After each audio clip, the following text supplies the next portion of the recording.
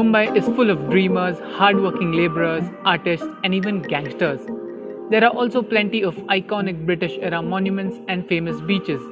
But there's something else that brings life and hope to this otherwise troubled city, and that is its young, thriving population.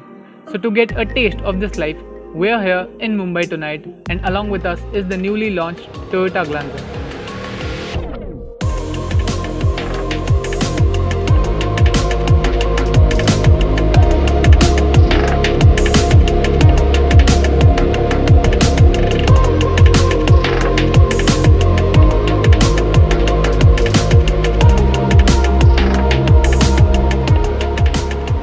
Even in posh localities of Mumbai where the rich flaunt their luxury wheels, the Glanza turned heads thanks to its striking design.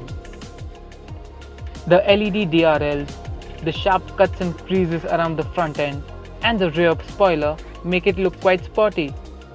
Moreover, the Toyota logo inspires confidence. While in Mumbai, one simply cannot miss driving past the Bandra Worli Sea Link. People swell with pride while approaching this 5.6 kilometer long cable stayed bridge and are awestruck by its complex architecture.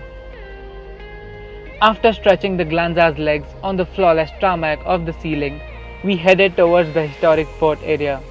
During the day, it's a busy commercial street, but at 3 am, it's a blissful and calm drive through history.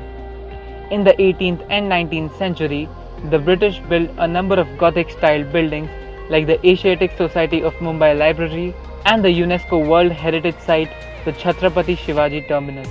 Here, the light steering and the compact dimensions of the Glanza helped it snake through the narrow city lanes.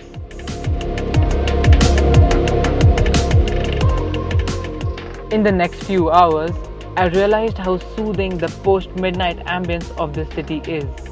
Life drastically mellows down after a chaotic day, and even at such odd hours, we could see some youngsters soaking in the cool breeze at Marine Drive, while others returned home after partying.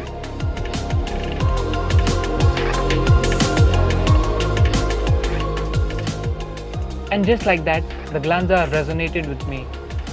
It's a comfortable and convenient car for daily commutes, and also the car you would want to flaunt at a party.